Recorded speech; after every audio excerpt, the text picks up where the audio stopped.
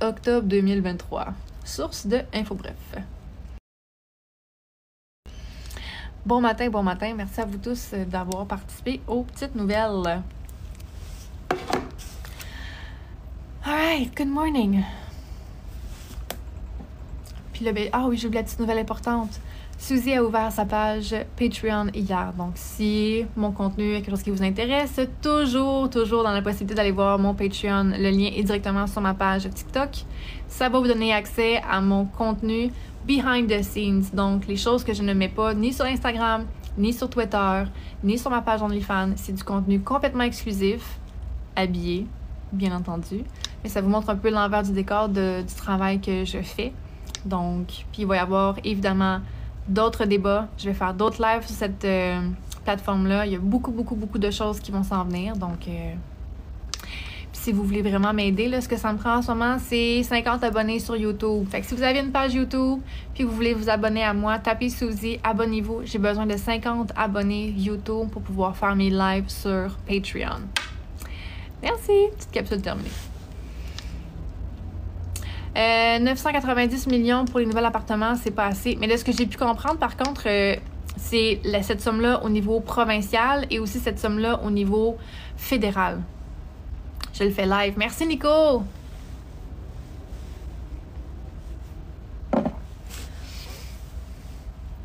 En même temps, on dirait qu'il n'y a comme pas de, de bonne solution par rapport à ça. Tant que les prix des hypothèques vont être chers, ça va être difficile de, d'offrir des logements abordables. Bon matin, comment vas-tu?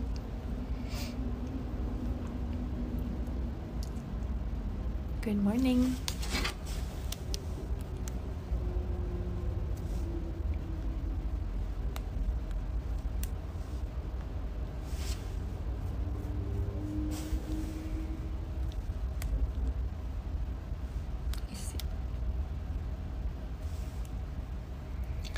Bonjour. Les taux d'intérêt, effectivement, les taux d'intérêt, ça aide pas. Les proprios veulent juste notre cash et pas rénover.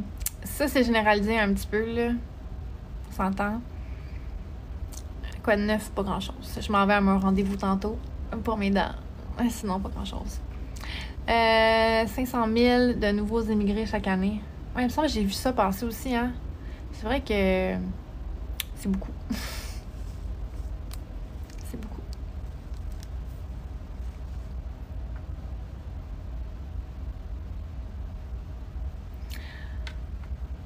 Oh ben, en fait, parce que j'ai lu les nouvelles, ça disait que euh, il y aurait une aide fédérale de 900 millions de dollars, puis le Québec voudrait mettre la même somme pour aider justement à offrir des, des appartements qui sont abordables. C'est l'affaire de Mexico, c'est que la plupart des gens, moi en tout cas les gens que je connais qui sont dans l'investissement immobilier, vont racheter les immeubles qui, sont, qui ont besoin beaucoup d'amour vont s'endetter pour rénover, mais ils ont un plateau, ils ont un maximum de toute façon qu'ils peuvent investir leur.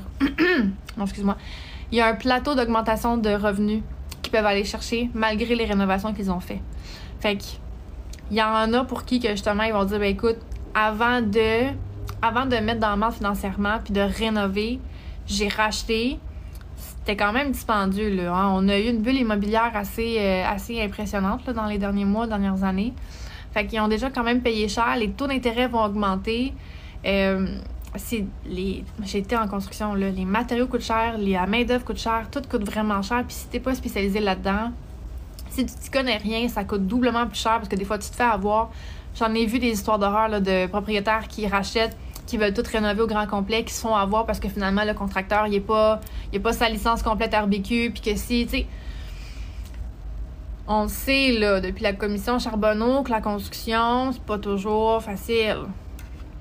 Fait que si en plus tu inclus là-dedans une hypothèque vraiment élevée, tu inclus là-dedans un taux d'intérêt vraiment élevé, tu inclus là-dedans le plafond d'augmentation des revenus que tu peux faire parce que si c'est une construction neuve, c'est différent. Une construction neuve, les cinq premières années, tu peux augmenter autant que tu veux. Sauf que si c'est une construction qui a été faite dans les années 80, 80, le building a 40 ans, là. À 40 ans, il a besoin de rénovation bien comme du monde. Mais le propriétaire, avant lui, il a vendu full prix sans faire aucune rénovation. le plus jeune a racheté, il a full réno à faire, puis plus que tu en fais, plus que tu découvres des bobos, plus que ça coûte cher. Et là, la problématique. Oui, ils m'ont dit si on rénove, on augmente ton logement et on renouvelle pour l'année prochaine. Mais non, mais c'est ça. C'est ça l'affaire parce que ça coûte cher. Fait qu'ils n'ont pas le choix à un moment donné. C'est ça qui est triste de, la, de réalité actuelle. La bourse gère le monde. Ben oui, ça fait longtemps. Qu'on est dans un monde capitaliste. Fait qu'à ce moment qu'on vit dans un monde capitaliste, ben l'argent gouverne le monde. C'est pas juste la bourse, c'est l'argent.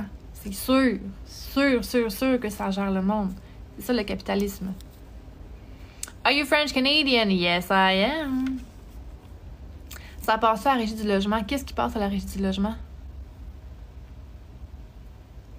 Si l'augmentation de loyer elle est justifiable, elle est justifiée, oui, ça passe à la régie du logement une augmentation. Ça passe, mais il faut que ça soit justifiable et justifié. Fait être justifiable, c'est une chose, mais est-ce qu'elle est justifiée, c'en est une autre? Il faut que ça soit les deux, une combinaison des deux. Là. Le renouvellement de bail, euh, de forcer un renouvellement de bail, je pense pas. Toujours à la discrétion du locataire.